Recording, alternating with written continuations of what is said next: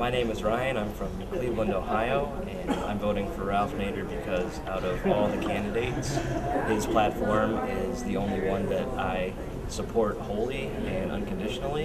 Uh, I agree with everything Ralph uh, is offering in his campaign, uh, and I believe he's the only candidate that advocates true change.